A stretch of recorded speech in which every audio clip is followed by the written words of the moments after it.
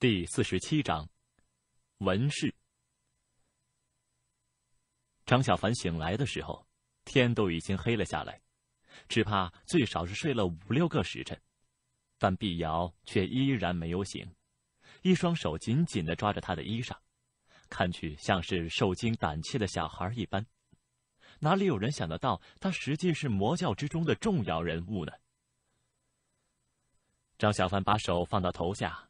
听着林间山风吹动树木发出的嗦嗦的声响，忽然间，他想到了青云山的大竹峰上，那片片的竹林，不也是发出这般的声音吗？这些时日，我失踪在万福古窟之下，消息怕已经是传回大竹峰了，不知道灵儿师姐知道了之后，会不会有些伤心呢？可是。若我突然出现在他面前，他一定会很高兴吧？一定也会一把抓住我的手，兴奋不已吧？也许他会笑骂说：“臭小子，我就知道你没那么容易死的。”他的脸上在渐渐漆黑的夜晚浮起了笑容，就连他的眼睛，在这黑夜里也那么明亮。却没有看到，在他的身边有着另外的一双明眸。不知从何时开始，悠悠的看着他。天又亮了，山间响起了鸟鸣声，清脆悦耳。张小凡走到小溪边上，双手合起，捧起一把水泼到脸上，凉丝丝的感觉直透入到心底。他查看了一下左手处，拆下绷带，那断骨处居然也已经好的差不多了，心中高兴。把绑在手上的车火棍拿下，插在腰间，用力的活动一下左手，果然没有什么大碍。手好了吗？碧瑶从他的身后走来，看了他一眼，然后蹲下用溪水洗脸。是啊，张小凡兴高采烈的说：“没什么大碍了，不疼不痛的。”碧瑶用袖子轻轻的抹去脸上的水珠，说：“你也不要乱动。”伤筋动骨的，多休息一段日子才好。知道了。张小凡顺口应了一声，随即看向碧瑶，犹豫一下，才说：“碧瑶小姐，如今我们万幸，万幸保得性命，从那山腹当中逃了出来，你我也算，也算交了个朋友。不过，毕竟是道不同不相为谋啊。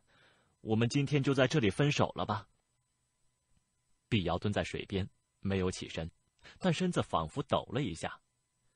张小凡看不到他的神情，过了一会儿，才听到他低沉的声音说：“哦，是道不同吗？”张小凡点头说：“是。我是正道，你乃邪魔。自小我师长就教导于我，正邪不两立。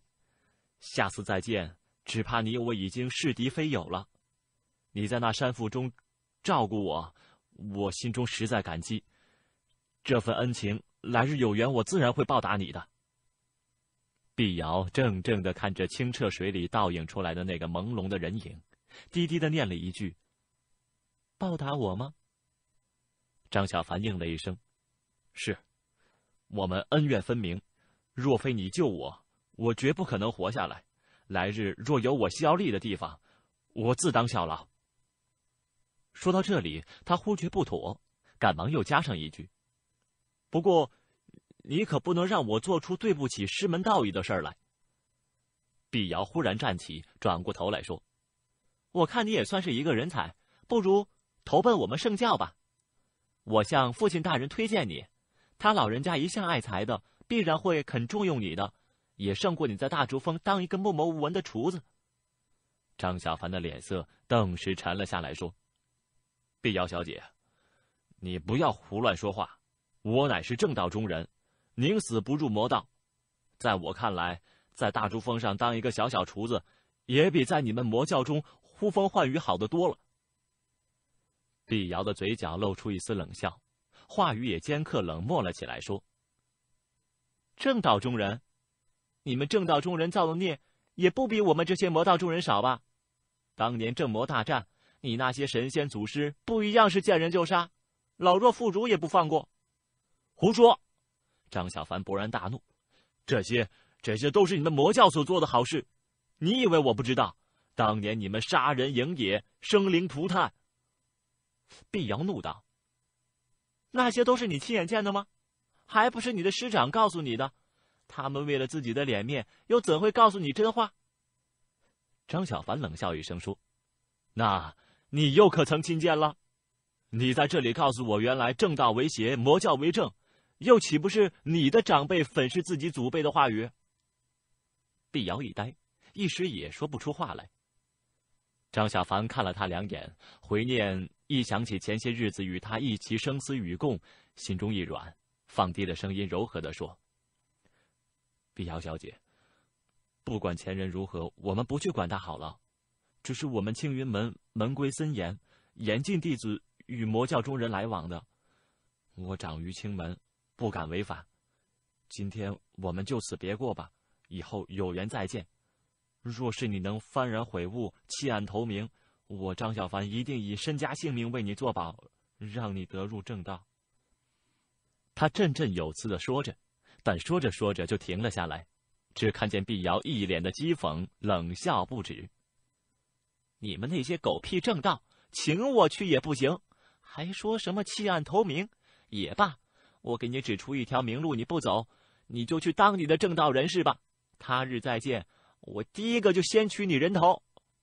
张小凡吃了一惊，只觉得这女人翻脸比翻书还快，但终究是无心争论，而且对着碧瑶，他始终觉得有亏欠的地方。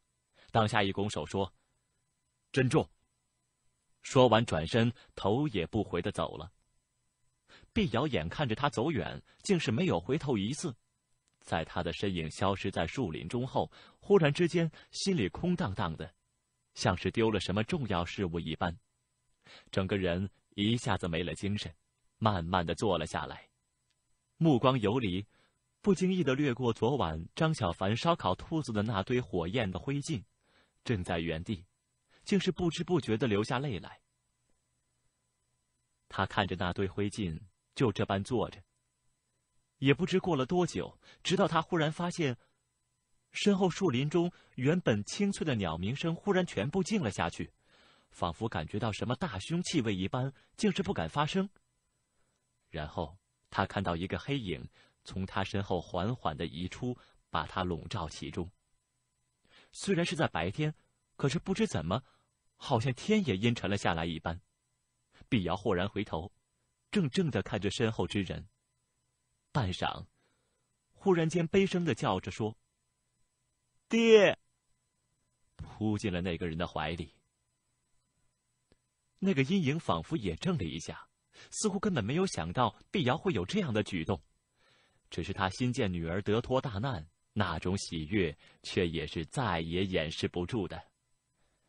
张小凡在这山林中走了一天，才走出了空桑山的地界。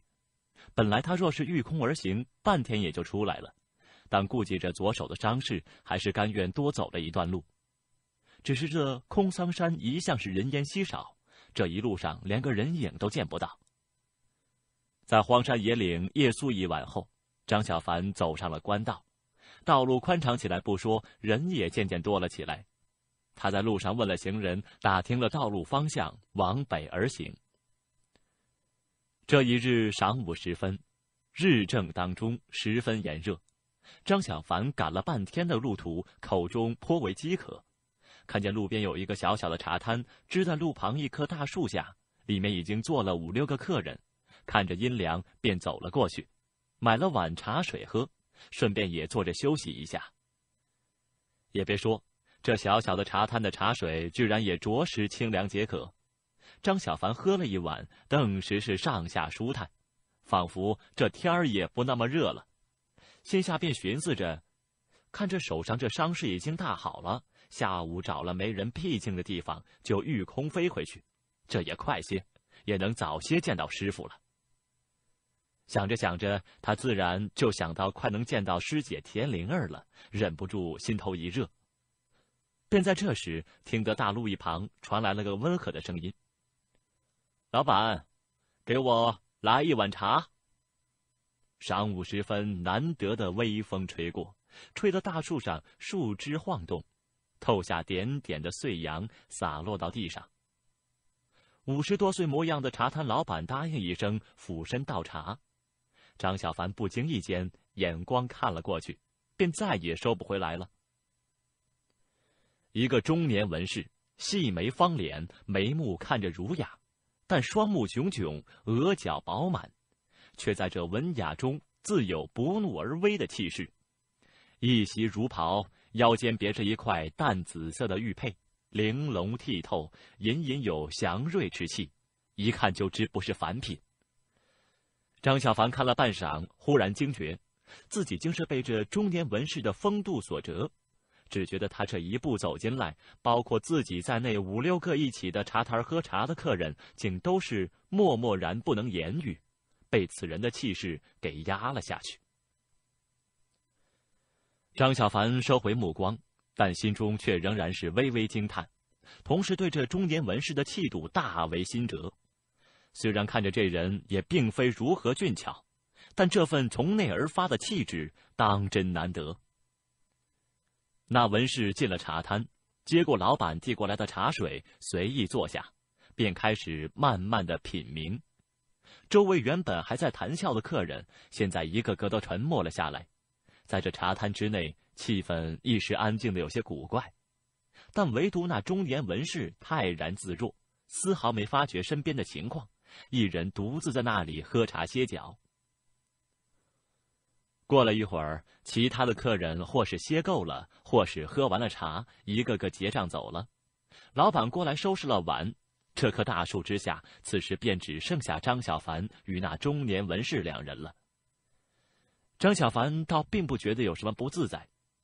但又坐了一会儿，便觉得自己已经休息好了，正想着结账走人的时候，忽然间听到身后有个声音响了起来：“小兄弟。”张小凡一怔，听得这声音温和熟悉，转过头去，只见那文士正对着他平和而笑，惊讶的说：“这位先生，可是叫我吗？”那文士含笑点头说：“正是。”说着，站起身来，缓步的走了过来。张小凡跟着站起，待他走得近了，抱拳说：“请问先生，有什么事儿？”那中年文士上下打量了一下张小凡，说：“啊，没有，只是旅途寂寞，又看着小兄弟顺眼，过来聊几句。小兄弟不介意吧？”张小凡连忙摇头说：“没有，没有的事儿。”先生，请坐吧。那文士笑着点头说：“来，小兄弟，你也坐吧。”二人坐下。那文士看着张小凡说：“请问，小兄弟尊姓大名？”张小凡自幼长于草庙村，后又为青云门收留。这些年，除了青云门大竹峰同门，几乎没同外人说过什么话。当然了，前些日子与那魔教少女碧瑶在死灵渊下被困的日子不算在内。这时与这文士说话，心中不知怎的对这人倒先有了几分敬重，当下恭恭敬敬的说：“不敢，在下张小凡，请问先生大名是？”那文士先念了一句：“张小凡。”点了点头，微微一笑，说：“我姓万，草字人往。万人往。”张小凡在心中念了一遍，这名字读起来挺普通的，却有种让人金戈铁马的感觉。张小凡忍不住向他看去，这万人往的脸上一片温和，但眉宇之间的威势仿佛天生一般，竟是极重。配合着这个名字，隐隐有欲万众之意。万人往上下打量着张小凡，微笑说：“恕我多问一句，请问张小兄，莫非可是修真之人吗？”张小凡吃了一惊，他与齐浩等四人下山之后，为求路上方便，便都换下了青云门的服饰，穿了普通衣裳。看去与普通人并无两样，也不知这中年人是怎么看出来的。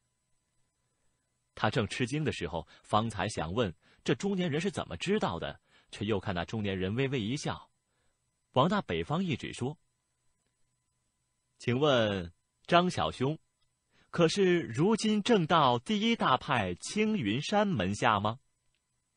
张小凡这一惊更甚，忍不住站了起来，看着万人网说：“请问万兄，你你怎么知道的？”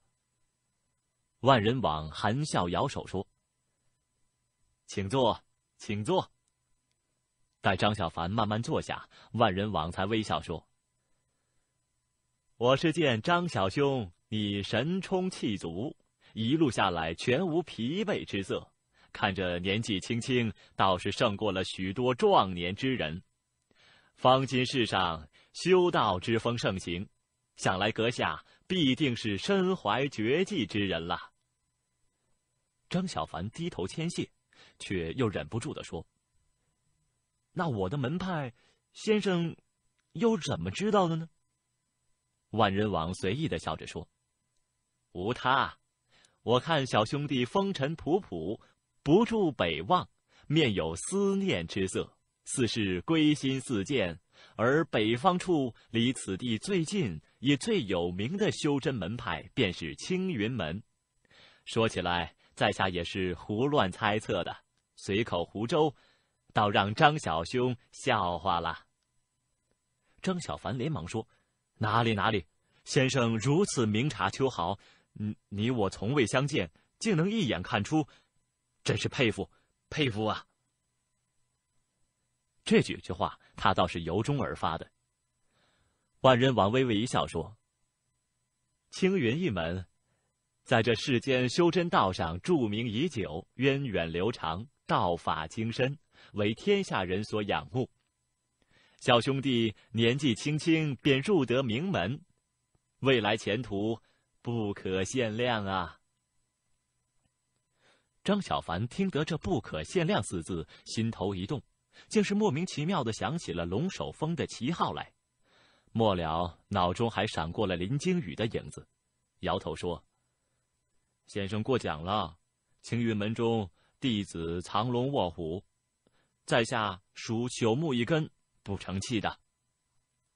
万人网怔了一下，失声笑道：“哈，想不到张小兄，你倒也会说笑话。”张小凡不愿与在这个话题上和他争辩，便对他问道：“万兄这风尘仆仆的样子，不知是往哪里去啊？”万人王悠然站起身，背负双手，仰天望了一眼，说：“这天下之大，浩瀚无边，我游历世间，大山古泽，随意而往。”啊！张小凡惊叹了一句，说：“原来如此。”万人王回头看了张小凡一眼，忽然脸上闪过一丝奇异的笑容，说：“张小兄。”既是青云门下，想必是道法高深了。张小凡连忙摇头：“嗯，没有，没有，没有，在下乃是青云门中一个不成器的人，哪里说得上道法高深了？”万人网微微一笑说：“张小兄客气了，在下有个不情之请，还望张小兄你成全一下。”张小凡怔了一下说。万兄，请说。万人网说：“在下从小仰慕阁下这等修真高人，无奈机缘不够，不得其门而入。而且在下对高人们能遇法宝而行九天之上，更是梦寐以求。数十年来，无一日不渴望得一仙家法宝而观之。张小兄乃是名家弟子，不知。”可否完我这个小小心愿呢？说罢，他竟然是深深弯腰，行了一个大礼。张小凡哑然看着万人往行礼，更是慌了手脚，连忙扶住，心中着实为难。犹豫了片刻，看着万人网仍然是一脸期待的看着自己，叹了口气说：“唉，不怕万兄笑话，在下并不是不愿给万兄观看。”只是，只是法宝不上堂面，只怕有碍。万人王立刻说：“这有什么？仙家法宝岂有不上台面这个道理的？”张小凡面上微红，终究是放不下面子，从腰间拔出了烧火棍，递了过去。看着他递过来这么一根东西，万人网的脸上惊讶之色也是一闪而过，郑重的接过。张小凡把他的神色看在眼里，苦笑说：“不要说是你了，便是我师门中人，也是常常笑话我的。”说了这话，张小凡的心中忽然一惊，只觉得自己今天好生奇怪，在这素昧平生的人前，自己怎么？好像什么话都愿意与他说一般。那万人王却没有注意到张小凡，眼光都放在那根烧火棍上。原本他面色郑重，但眼中还有些随意。但渐渐的，他却似乎看到了什么，非但脸色沉了下来，一双眼睛更是死死的盯着这根黑色难看的棒子。张小凡在旁边看着，只觉得这万人网看起来好生奇怪。把一尺来长的烧火棍拿在身前，细细的看着，左手托住，左手修长的五指在这棒身的身上轻轻的抚摸，轻轻的点击，小心之极，忍不住问道：“万兄，请问有什么不对吗？”万人王如被梦中惊醒，迟疑了片刻，把这烧火棍还给了张小凡，说：“张小兄，在下因为仰慕仙道。”所以，在这方面的书是读了一些，有一些话还要请教一下张小兄。张小凡说：“请说吧。”万人王的眼光在这根烧火棍上瞄了一眼，说：“请问张小兄，这件法宝之中可是含有阁下的精血？”张小凡大吃一惊。刹那间，脑海里飘过了当年在大竹峰后山幽谷当中那一幕可怖的情景，霍的站了起来，指着万人网说：“你，你说什么？”万人网看了他一眼，缓缓的说：“请问张小兄，这件法宝可是两件事物合二为一的？”张小凡隐藏在内心里最深处之一的秘密，如今竟被这人说了出来，这已经非同小可。只觉得脑袋中嗡的一声，竟是说不出话来了。万人王看着张小凡惊愕的表情，自是明白自己所料不错。只见他仿佛微微低下了头，似乎想起了什么，隐约叹了口气说：“你不知道吧？嗨。”这棒子上的珠子原是魔教的圣物。张小凡越来越惊，几乎连呼吸都要屏住了，但身心处却有着一个声音，仿佛在冷冷的笑着说：“你早就知道了，你早就知道了。这棍子这般邪气，自然是魔教的邪物。”你，你说什么？张小凡喘着粗气，盯着他，一字一字的说。这珠子是八百年前魔教祖师黑心老人的遗物。万人网的话就像是一个个钉子，一字一字的钉入了张小凡的心间。名字叫做嗜血珠。张小凡整个人都呆住了，屏住了呼吸，但脑海中有万千的念头，百转千回，却始终有一个画面挥之不去，那一句。在空桑山山腹密洞之内的骷髅。万人网看他震惊的模样，停了片刻，却又淡淡的说：“张小兄，你知道了这珠子的来历，却不知，你可还愿意知道这黑色短棒的来历吗？”张小凡的身子一震，说不出话来，只是直直的盯着万人网。